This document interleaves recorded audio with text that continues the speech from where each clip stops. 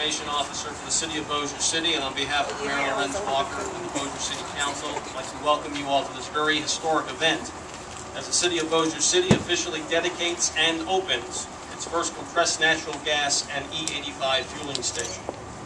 This is an historic event in that this station will not only service the City of Bossier City fleet of vehicles, but uh, it also will provide access to the public these uh, alternative fuels in an effort to reduce emissions into the environment and go green, as so many people are doing.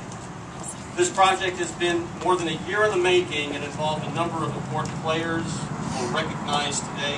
We'll also hear some remarks from a few of those folks. But at this time, I'd like to ask Dr. Fred Lowry, pastor of